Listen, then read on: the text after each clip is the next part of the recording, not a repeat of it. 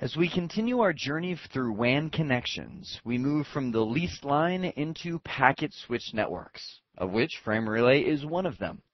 We're going to take a look at what Frame Relay is all about. And when I went through the CCNA many, many moons ago, Frame Relay was one of those concepts that just baffled me and I was so confused on. And I think it was just because I, I had a bad starting point. I really just didn't get the big picture of what Frame Relay was all about.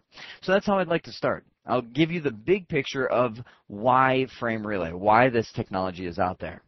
We'll then get into one of the big concepts of frame relay. We'll look at the terminology and especially DLCIs. That's the addressing that frame relay uses. And finally, we'll look at frame relay design options. Frame relay originated as a result of service providers monitoring leased lines. Leased lines used to be the uh, way to connect, and people would just buy dedicated bandwidth between their locations. Now, the benefit of that is it's your bandwidth. You always use it all the time.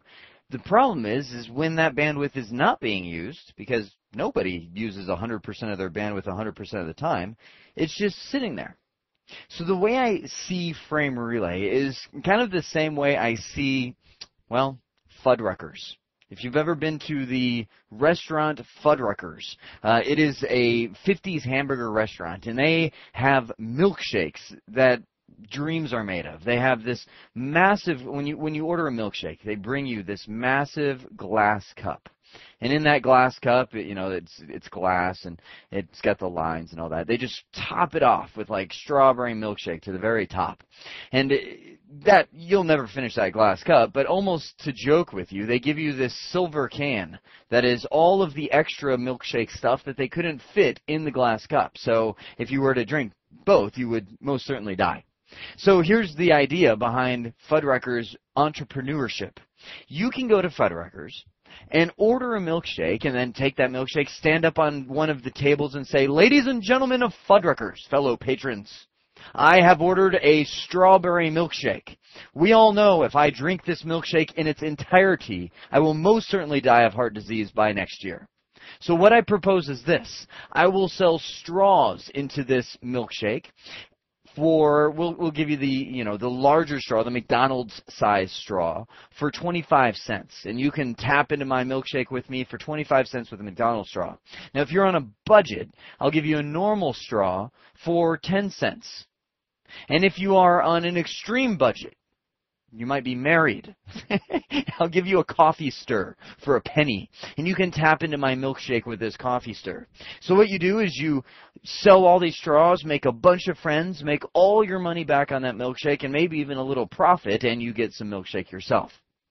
That's the idea behind frame relay, and that's the idea behind packet switch networks. Service providers watched these lease lines and said, there's bandwidth that's not used. Tell you what, let's do this. Let's make a big cloud of bandwidth, you know, gigs and gigs of bandwidth inside of this cloud. And what we'll do is have this in somewhat of a pool. We will sell straws through this cloud or that can connect different sites together. If somebody is not using their bandwidth in frame relay, chances are somebody else is. And that's the whole idea behind this kind of network. Now, frame relay is part of the packet switched class of networks, of which X.25 was the first one. Now, it's evolved over the years. X25 became frame relay, and, and then frame relay became ATM. And then ATM and all these were, have kind of been transitioning over the last few years into a technology called MPLS. But it all works in a similar way in that you have this big blob of bandwidth, and if you're not using your bandwidth, someone else is. Now, the power behind that is the service provider can sell you cheaper connections because they don't have to dedicate all that bandwidth to you. The service provider can also over provision that cloud. Like let's say there's oh, we'll say 2 gigabits per second of bandwidth available here, the service provider can sell, we'll say 3 gigabits per second to all of its customers because in all their studies, and monitoring and, and testing of these networks, they have determined that, you know, with this ratio, they are able to sell this and still meet all the customer demands because, again, not everybody is going to use all their bandwidth all at the same time. I guess you could also think about Frame Relay as a bank, and in the sense that the bank lends out more money that it has because they're making the bet that not everybody's going to come withdraw all their money at the same time. If they did, the bank would run out and not everybody would get their money. Same way with bandwidth. So half of the game in frame relay is just getting used to the terminology and how these connections work because it's very different than Ethernet and even leased lines. The first term that we have is committed information rate. This is the bottom line, the minimum bandwidth that the service provider guarantees you. So if I, let's say I had this office here in Arizona, I might sign up for a committed information rate, a CIR of 500 kilobits per second. Now, when you think of a minimum, that's the bottom line. A lot of times in frame relay, you can actually burst. It's known as bursting above your committed information rate if the bandwidth is available. Now, there is kind of a common line of courtesy that if you're always boosting above and always using more bandwidth, the service provider will monitor that and let you know and say, hey, you really need to start paying us more money to up your CIR because you are continually using more bandwidth than uh, what, what you're paying for. So that comes back to the local access rate. The local access rate if, is physically how fast that circuit can go. And this is one of the big differences between Ethernet. When we think about Ethernet, we think of things like fast Ethernet. When I plug in that cable, that cable can go 100 megabits per second. And if my computer can send 100 megabits per second, the cable can handle it. Well, therein lies one of the big differences in frame relay. You might have a local access rate of 2 megabits per second, but a CR, a CIR of 500 kilobits per second. So even though the physical cable can handle 2 megabits per second, you're only paying for 500 kilobits per second, and you should be configuring your router to only send at that rate unless you have some kind of bursting agreement uh, set up with your service provider. So that's one of the, the first differences, is a logical and physical speed mismatch. Now down below you see Local Management Inter- Interface, or LMI. LMI is the language you speak between your router and the service provider. LMI lies right here. It is a signaling protocol that the service provider can use to send you statistics on the line. It can tell you, you know, the status, uh, the the relative um, quality of your transmissions, if it's dropping packets. It will even you can even use LMI to send DLCI information, and that's one of the big terms next. You see DLCI. Ethernet uses MAC addresses, right? You send from this source to this destination. Well, in frame relay, you use DLCIs. That's the frame relay equivalent of MAC addresses. They work quite a bit differently than MAC addresses, or I guess you can think of them as backwards, but we're going to talk about that on the next slide. So I don't want to get too deep into DLCIs. For now, you can just think that every single one of these sites is identified by a DLCI, a data link connection identifier that allows it to communicate. Now you notice I put little dotted lines through the cloud. It's almost my instinct. I wasn't even thinking. But those little dotted lines represent our last term here, which is permanent virtual circuit or PVC. When you sign up for a frame relay service provider, you will typically have, we'll say in Arizona, a single connection to the cloud. Serial zero slash zero, we'll say, is connected right here to the service provider. Now, once you get into that service provider, you can pay for one or more PVCs, which dictates where that service provider can take you to. So I might buy in Arizona a PVC that goes to Florida. Now, every single one of those PVCs has a CIR. Now we're getting weird, right? So for example, I could have a PVC from Arizona to Florida that has a 500 kilobit per second CIR. Now, I could also buy a second PVC from Arizona to California that has a 800 kilobit per second CIR. So total, if you look at that, you know, 500 plus 800, that's about 1300 or 1.3 megabits per second of bandwidth that I have there. And as long as I don't exceed my local access rate, I'm okay. I can, you know, keep bundling all these together. Now, every single one of these PVCs has a reoccurring monthly cost. So the more PVCs you have, the more you're going to pay for your frame relay circuit. And because of that, a lot of times companies will just have as few PVCs as they can like what you see right here. Arizona is connected to California, Florida, and we'll say Texas. That's our three PVCs. But Florida is not connected directly to California. It has to go through Arizona to get there. This is actually known as a hub and spoke frame relay design. Again, we'll talk about that more later. The main thing I want to focus on is the PVCs. This is a shift, a paradigm shift for many people because if you're used to leased lines, a router connected to another router, you can think of, you know, serial zero goes to the Texas router, period. It doesn't go anywhere else. But in Arizona, serial zero slash zero could be the same interface you use to reach three, four, five different offices, depending on how many PVCs you're paying for. So it's a little shift. Think about frame relay more so like VPNs, if you can think back to that WAN connection video, where I said you've got one physical link, but it can connect to many different sites across the internet. In the same way, frame relay can have one physical interface that's connected many places. Now let's dig a little bit deeper on that concept of DLCI. How do DLCIs work? This, to review just from the previous slide, is the addressing that frame relay uses. It's like a frame relay quote unquote MAC address. The reason DLCIs can get so confusing is because we're used to the Ethernet world. If you've got two devices that want to communicate using Ethernet, we have a source MAC and we have a destination MAC. When this computer wants to send some data to that computer, it sends from this source to that destination. That's what we're used to. Frame relay flips that whole thing on end. DLCIs are known as locally significant, and let me show you what that means. In Missouri, I might have DLCI 200. Texas might be DLCI 300. California might be DLCI 400. Now, Arizona might have DLCI 100, 300. Well, hang on. Let me not do that yet. I'll do 500 and 900. Okay, these DLCI numbers can be any number from, uh, well, technically 16 to about 1024. So any number in that range. Now, again, what we're used to is this MAC address concept. So we would think, well, when Missouri sends to Arizona, we're coming from a source of 200 and going to a destination of 100, right? No. In frame relay, it's exactly the opposite. When Missouri sends some data to the frame relay service provider, if it wants to go to Arizona, it's going to send it to DLCI 200. That's the destination.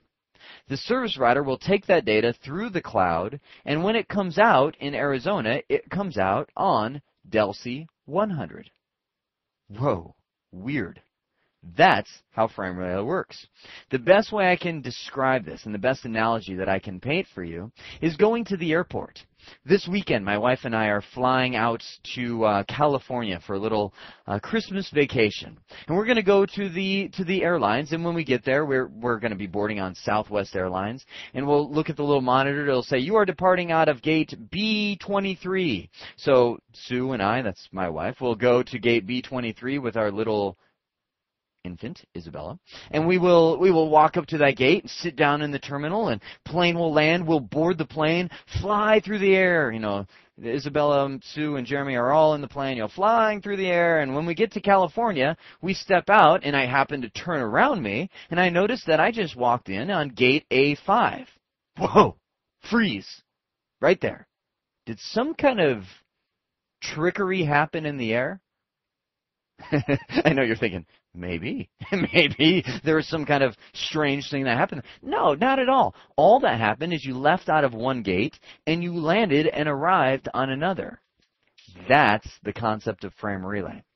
When you're sending from, we'll say, Missouri to Arizona, you leave on DLCI 500. When you send some data, it's going to that destination DLCI, or did I say 500? I meant 200. You're leaving on DLCI 200, flying through the air, fly, fly, fly, fly, fly, fly, fly, fly, fly, through the cloud, and then you land and come out on DLCI 100. If Arizona wants to get to, we'll say California, it will send data to a destination or leave on DLCI 900, fly through the air, and come out in California on DLCI 400. Now, with that in mind, let me show you something that might just blow your mind. It might not, but it might. Sometimes service providers will do something like this. California has DLCI 300 to get back to Arizona, but so does Texas. And while we're at it, let's let's go crazy. So does Missouri. Missouri also use DLCI 300 to get back to Arizona. you might be thinking, ah, you know, everything in your TCP/IP body right now is like you you can't do that. That's an address conflict. Or you're thinking of MAC addresses. You can't have the same MAC address. Well, that's the difference of DLCIs. And now we come back to this. DLCIs, oh no, I lost my underline. DLCIs are locally significant. That means that DLCI 300 in Missouri means something in Missouri that could be very different than what DLCI 300 means in Texas. You could even do this. Why not? Let's go crazy. In Arizona, we also have DLCI 300. Wow. The reason this is possible is because DLCIs are locally significant, which means when you send data in Arizona to the Arizona service provider on DLCI number 300, they have a little map in their Arizona, notice I'm emphasizing, uh, routing table that says if they send DLCI300 in Arizona that needs to go through our network, blah, blah, blah, you know, all this stuff, you know, happens in the network, and then come out on DLCI300 in Missouri. So the DLCIs are locally significant in that 300 in Arizona means something very different than 300 in Missouri, Texas, and California. Now you could not, you know, I'll stop the madness right here, you could not do that. Have two 300s on the same interface in the same location because that now you've you've confused it. It's two 300s in the same place. We've lost your local significance. So that's the the idea of what's possible with frame relay and how these DLCI numbers work. Hopefully that gives you a pretty clear picture of how this addressing works. You just have to remember sending to a DLCI is locally significant. Now, last thing I'll say, I was trying to think of where I was going next. Last thing I'll say is a lot of a lot of questions come in of what really happens in that cloud. what I'll say here is what happens in the cloud stays in the cloud. Let's just leave it at that. I'll tell you, technically, behind the scenes, when you get into that service provider, they tear this DLCI off and throw it away. They rip off the whole frame relay header, and you know, as you go through this network, you're probably hopping from router to router to router to router, to router, router, router, router, router, and coming out in Arizona. If you were to do a, to do a trace route, though, you never see any of that. It's all hidden to you. That's why the cloud is invisible. Uh, you just see that you came in, the packet's like, whoa, it just totally gets its, its headers torn off, spun around, turned back around, ends up walking out in Arizona, never knew what hit it. Now, because of the way PVCs work, there are really three ways that you can design your frame relay network. You can see that the most common way, because it's the cheapest, is the hub and spoke. That's where you have one hub, right here, you can see Arizona, and all the other offices are spokes. So there's my hub. Now the beauty of this is the cost. It is the cheapest way to get all the offices together. The disadvantages are, number one, you've got a single point of failure. If Arizona goes down, everybody goes down with it. Second thing is now that we are getting these voice over IP networks, uh, we also have to consider something known as delay. What delay is, is how long it takes a packet to get from one place to another. Now with data, delay didn't really matter. You could send stuff and as long as the bandwidth was there and it got there eventually, it would be fine. It might just take the bar a little longer to go across the screen if there's a huge delay. But in voice, let's say you've got a, uh, a phone over here in Missouri and he wants to talk to a phone over here in California. With frame relay, if you have to go to California, you have to go through the hub, Arizona, get processed, loop back around, and then be sent out to California to reach that phone. That can cause some considerable delay, especially if the hub is pretty far away from these two spokes. Now, the longer delay you have, the worse quality voice over IP call you're going to end up having. And you might have calls that break up, calls where you're it's just unnatural. You're trying to talk to somebody and it's it's so long before they respond, you start overlapping. It's it's not good. So we're starting to see some significant disadvantages uh, nowadays with this hub and spoke design. So you might flip on the other side and go, well, let's do a full mesh. Full mesh is where every office has a PVC to every other office. You can see Missouri has full connections to Arizona, Texas, and California, and so does Texas, and so does California. This is the ideal design, but now you're getting into the big disadvantage of cost. This is the most expensive design you can have, and the more offices you add, the more it grows exponentially because then you have to link everybody to this office and add redundant connections and so on. So the cost keeps going up in the full mesh. So what people usually end up negotiating on is a partial mesh, meaning your critical sites, like Arizona in this case, has full connectivity to all the other offices. Uh, California's got a redundant link between Texas and Arizona, but you can see Missouri, maybe, you know, these guys just play online games all day anyway, so they just have a single PVC. when layoffs come, just make sure that you're not the single PVC location. Uh, that that because they are not the critical ones. So that's usually a good compromise be- between redundancy, performance, and cost. The last thing we'll talk about is the logic or the design idea when you're configuring your interfaces for Frame Relay. And this leads into the next video on Frame Relay configuration you can design your network in either a multi-point fashion or a point-to-point fashion. Now, multi-point, in my opinion, is a poor design strategy. The reason I say that is because all of the routers are on the same subnet. Now, it makes the routers believe as though it's kind of like an Ethernet network where Arizona can send out a message and, you know, Missouri, Texas, and California will get it. But the problem is, you can see, only Arizona can do that. If California sends out a quote unquote broadcast or a message, only Arizona receives it because there's only a single PVC between those two offices.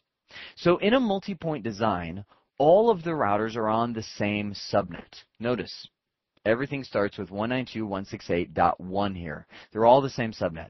You have multiple DLCI numbers mapped to the same interface. So in Arizona, Arizona is the only one here with multiple uh, DLCIs, maybe 200, 300, and 400 are what connect it to the other offices. We would map those to this interface and it would all go out the same direction. Lastly, this is known to cause problems with split horizon. Now there's your pop quiz. Do you remember what split horizon is? it came back from when we were talking about distance vector and link state routing protocols. There's a specific video earlier in the cities, uh, earlier in the series that is distance vector versus link state. In there, split horizon was introduced as one of the loop prevention mechanisms. It stops loops from happening in your network the way it did that and the way the rule works is it says never send an update back in the same direction or out the same interface that it was received from. So if this router on the right was advertising 10.1.1.0 to this router, this router could never turn back around and advertise 10.1.1.0, otherwise you could potentially cause a loop. Well, that loop prevention mechanism causes problems in this environment because Missouri might need to send a route update. You know, we see the frame relay portion, but we also have networks behind here. Maybe, maybe Missouri has the uh, 172.16.1 network back there on its LAN. Well, it will send a route update to router Arizona through its DLCI, and Arizona receives that update and adds it to the routing table that Arizona now knows how to reach Missouri's network. But then the problem is Split Horizon tells Arizona, do not send that update back out the same interface you received it on. Are you getting my points here? Serial 0 slash 0, it was received on, so it never turns around and sends it back out. So Texas and California will not hear about the 172.16.1 network update. So, the solution in a multi-point design is to turn it off. Meaning, I shut off split horizon, a loop prevention mechanism, in order for this network to work correctly. My preferred method of configuring a frame relay network is in a point-to-point design or point-to-point configuration. And I want to make sure that I emphasize before we uh, go any further into this that this is something that you choose as somebody configuring a Cisco router. You choose whether you want to use a multi-point configuration or a point-to-point configuration. It's not something you have to coordinate with a service provider on or say, explain to them, oh, this is how I'm going to do it. Can you please set me up this way? This is something that you do. And in a point-to-point design, all the routers are on different subnets. You can see that I have Missouri on 10.192.168.1.2, which connects to Arizona down here, 192.168.1.1. That's the subnet between Arizona and Missouri. Arizona to Texas, 192.168.2.2 over here. And I'll explain this uh, shindig in just a moment. A point-to-point design emulates, as if I were to draw this out, as if Arizona had individual leased line connections to each one of these places. Whereas multipoint makes Arizona think it's kind of like it has an Ethernet network and everybody's on this same shared subnet, which causes a, a lot of strange and uh, odd problems that you can uh, you'll have to configure. So point to point is just a lot more logical. The way you set it up is create a point-to-point sub interface for each peer. Notice, in Arizona, I have 0, 0 slash 0, which is the physical interface, and there is virtually no configuration underneath that interface. What I do is I create a sub interface, serial 0 slash 0 dot 100, 0 slash 0 dot 200 these sub-interfaces work in the same fashion that they do if you can think back to our VLAN routing. Remember our router on a stick with VLANs and we created the sub-interfaces, one for each VLAN? Well, it's the same way here, but we have one sub-interface for each DLCI. Now, all these other routers only have one DLCI back, so you notice I, I didn't set up a sub-interface on there, but if Missouri needed to connect back to California and we added a second DLCI, I would then go ahead and remove this config from the, the physical and create two sub-interfaces, one to come back to Arizona and one to go down here to California. So point-to-point design is allowing you to create a separate logical interface or sub-interface for each one of those connections that you have. This eliminates the problem with split horizon because when a routing update comes in, the router sees it coming in serial 0 0 dot 100. It doesn't break the split horizon rule to send it back out serial 0 0 dot 200 and dot 300 that will reach both of those DLCIs. So point-to-point design, in my opinion, is the best way to go. In the next video, I'll walk through the configuration of both a multi-point and a point-to-point frame relay network, and I'll let you decide which one you think is the best, with no subtle hints from me. So what we saw in this video was the big picture. You can see frame relay is very different than any other uh, network type that we've talked about so far. We saw a lot of the terminology like committed information rate being the logical speed you can go. Local access rate is the maximum physical speed you can go. DLCIs being the addressing. LMI being the language between you and the service provider. So all of those things go together to build this frame relay concept. We then took special time to look at DLCIs because the addressing works very different than any of the addressing we've seen so far. Instead of going from a source to a destination, you essentially leave on one DLCI and land on another, very similar to an airport.